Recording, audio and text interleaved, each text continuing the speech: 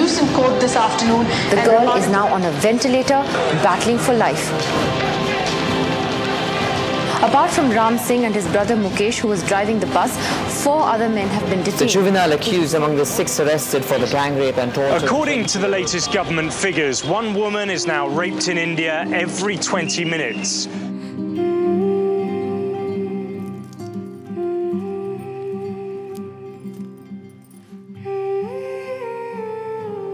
सोती थी तो आँख खींचती थी।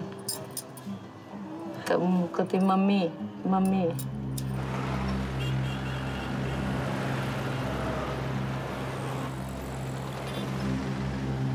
ताली कभी एक हाथ से नहीं बजती, दोनों हाथों से बजती है।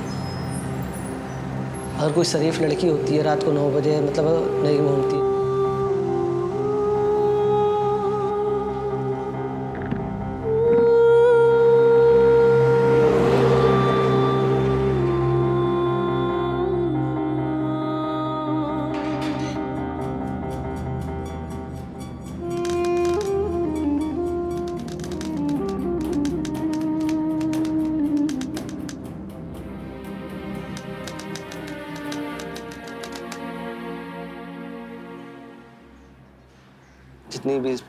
बीस मिनट गाड़ी चली है। मैंने चलाई थी। लाइटें बंद कर दी थी उन्होंने। भाई था मैं। जिस लड़के को मारा था, जाके वो सीटों के बीच में छुप गया बस।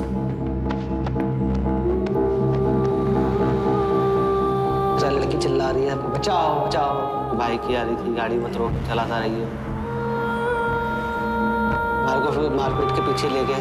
हाथ आ जा रहे थे बारी बारी से। ही जुनैल और राम सिंह। बाकी बाद में अक्षय वगैरह ये सब गए थे।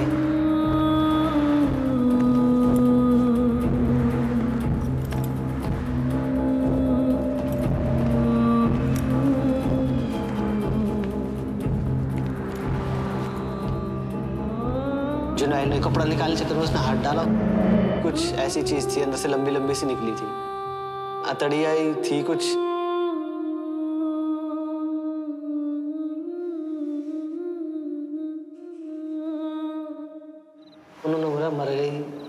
उसे फेंको जल्दी नहीं चाहिए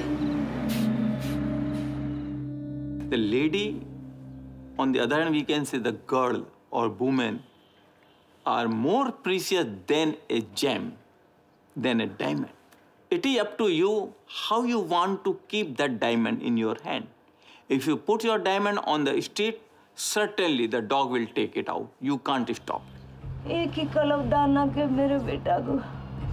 भगवान ने जब बुढ़ापा का सारा बनिया था। हमने मजूरियाँ कर करके उन्हें बड़ा कर दिया। हमारे बुढ़ापा की लाठी थी। सब संसार यही अपने बुढ़ापा के लिए करते नहीं और तो कुछ दिया नहीं। उठा के खंदा पे जला देगा। उसको हमने देखा जलाते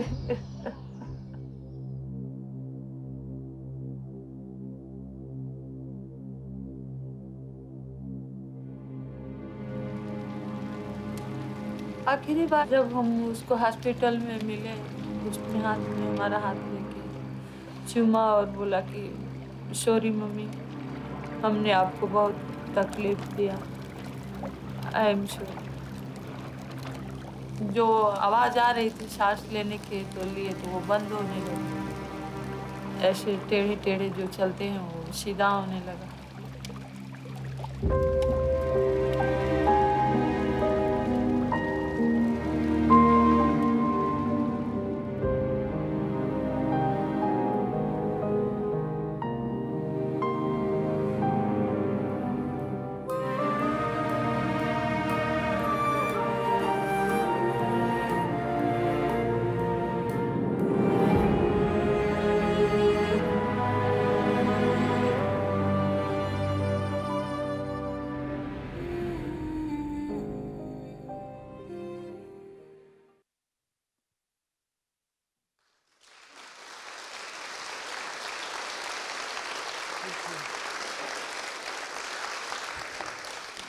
I'm going to put that right there because I have within me a lethal combination of garrulousness and such extreme passion for this subject that I could easily go on for a week. When I was 13, my father, who was an observant religious Jew, sent me to a religious school. And in this segregated girls in one section of the school and boys in another, in a lesson of religious instruction, I discovered at the age of 13 that there is a prayer called the Shacharit, which means the dawn prayer, that men say every day. And in it, they say the words, I thank God that He did not make me a woman. At the first break, I went in search of Rabbi Tanzer, the religious head of the school. And I confronted him with this and I said, Rabbi, I have just discovered today that this is a prayer that men say every day, and they say, I thank God that he did not make me a woman. Rabbi Tanzer was somewhat nonplussed, didn't quite know how to react. And I leapt upon his paws and said, So, Rabbi Tanzer, you can take your Jewish Torah and stuff it up your ass. Rabbi Tanzer phoned my father with alacrity, and I was immediately expelled from the school. Now, the Jewish religion is far from alone in this. I think the reason I wanted to start speaking to you tonight um, with those details is because I increasingly understand that the anger that I felt at that absolutely unjust expression about my gender, about women, as well as the injustice of my unfair dismissal from the school, has fueled, probably, most of my choices and my actions. Um, I grew up irreligious, unsurprisingly. I grew up to be a filmmaker. My religion is people. I make films because I love people. Film to me is sacred. It is a powerful tool that can change the world. And I believe this with all my heart. I'm no stranger to campaigning films, and I'm no stranger to having experienced at firsthand how films can substantially move us on I don't subscribe or hanker after a life hereafter. I have my feet firmly planted in this life, and I believe my only purpose on earth is to leave this world a better place, to pass the baton on. I made my very first film as a producer, a film called Who Bombed Birmingham about a case of a gross miscarriage of justice in Britain, the Birmingham Six case. And that film led directly to another appeal in the case and to the release of six innocent men who had spent 17 years in prison for a crime they didn't commit. That film had Margaret Thatcher stand up in the House of Commons the morning after its broadcast, apoplectic with rage, shouting, We will not have trial by television in this country. And that's exactly what we had. And thank heavens for that. In December 2012, television screens across the world erupted with this news of yet another horrifying gang rape in Delhi. And my stomach somersaulted collectively with everyone around the world at the hideous details um, of this heinous crime. But it wasn't the rape that made the penny drop for me. It was the reaction to the rape. It was seeing unprecedented and extraordinary numbers of ordinary men and women of India out on the streets in a freezing Delhi December, day after day, and from the 23rd of December on, after they had been the, on the streets uh, already for several days, facing a ferocious government crackdown of water cannons and tear gas shells, lathi charges, those batons the police use. And I was in awe of their courage. And it occurred to me that I had never seen any other country in my lifetime stand up with such tenacity, with such passion and commitment as civil society, demanding an end to the brutal violations of women's rights, violations of human rights.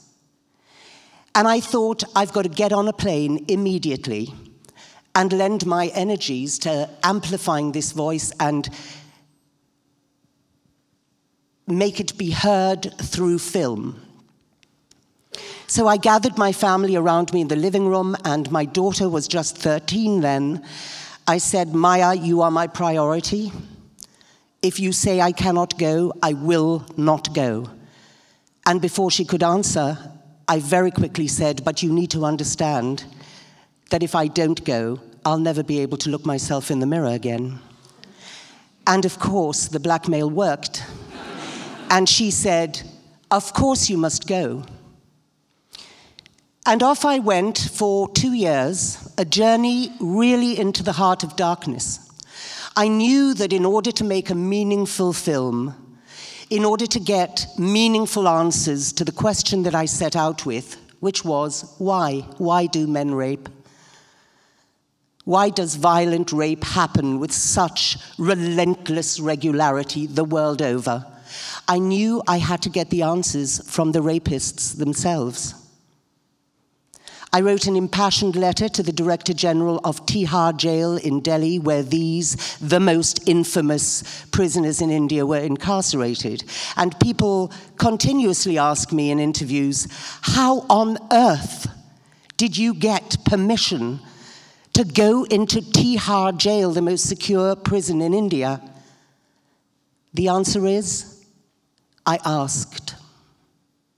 I asked I spent a week writing a letter. It was so important for me that she should say yes. I think the fact that she was a she may have helped a great deal, certainly meant that she understood um, my plea as to how important it was that if we hope to change these men and their actions, we need really to understand them.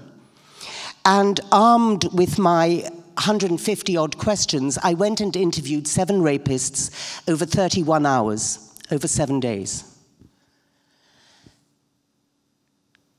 I think it's the most um, disturbing, deeply, deeply upsetting journey I've ever been on.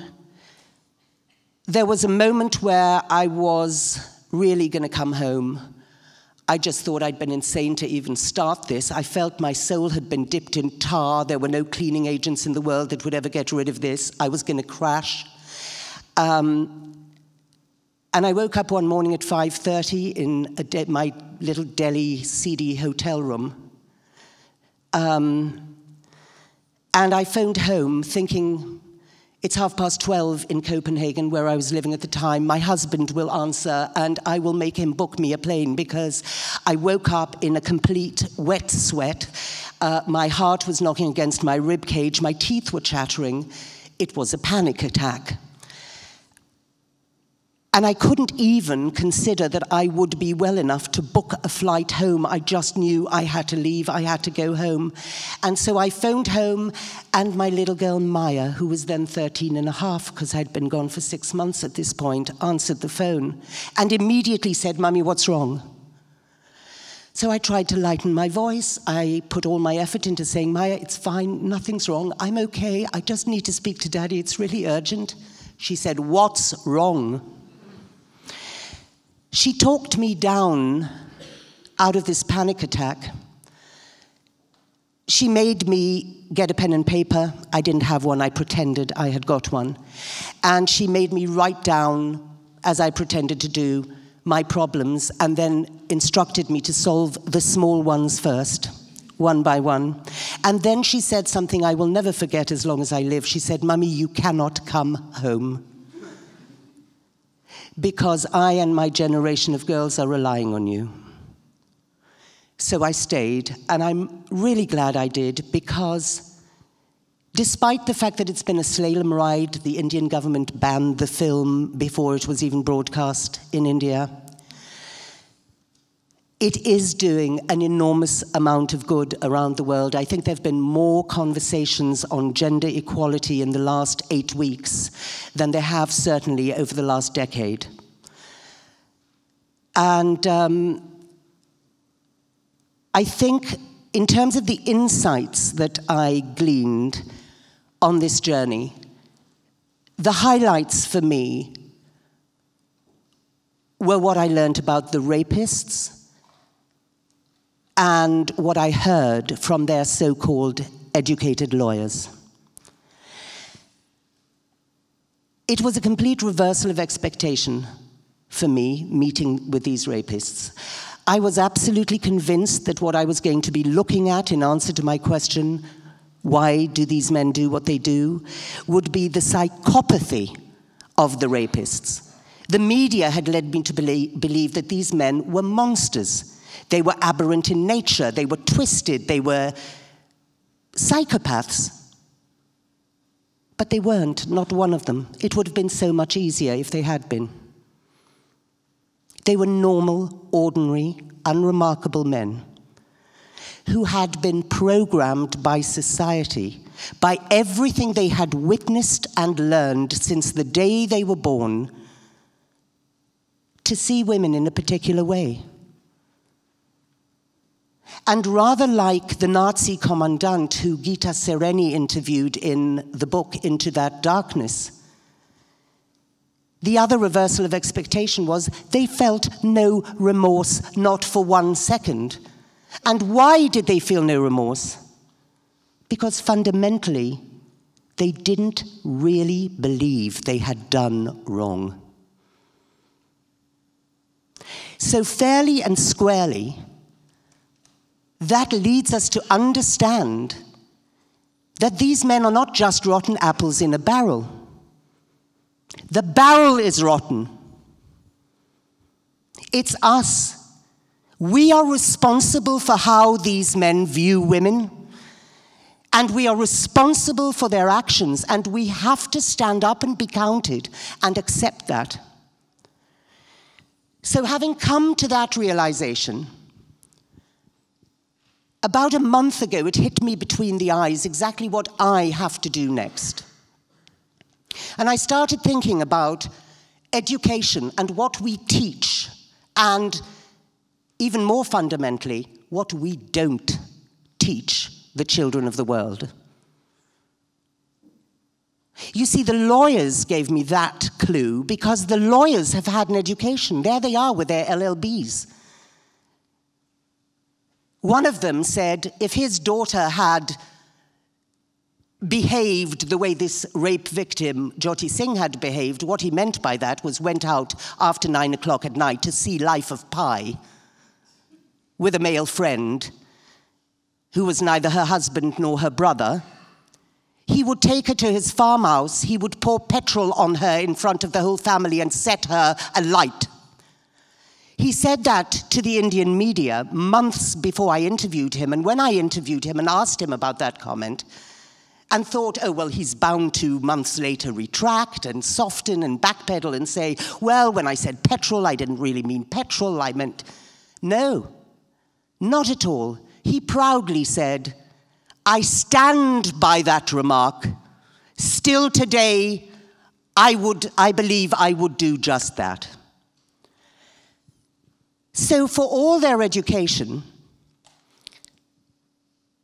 they are utterly ignorant when it comes to life skills, respect, empathy, understanding of human rights, equal rights. So, a month ago, I started a series of meetings at the UN Human Rights Commission, and I am happy to say, as of last week, I am now advising them on a global education program, which we are working on together and developing. We've started, I had a first field trip in Israel at the Feuerstein Institute, absolutely visionary um, educational philosophy. Um, and we are going to inspire and persuade every education minister in the world to co opt onto the compulsory formal curriculum of our schools across the world equality studies. Gender respect will be one of the things that we will teach. You see, we have only numeracy and literacy for our children. We don't have holistic education. And Aristotle said, Aristotle said, Give me a child until he is seven, and I will show you the man. The early years curriculum, in particular, which is what we're starting off with, absolutely crucial. He also said, Education of the head without education of the heart is no education at all. If we're successful in this, we will, within 20 years, have educated a whole new generation of equal thinkers. Pray for us. Thank you.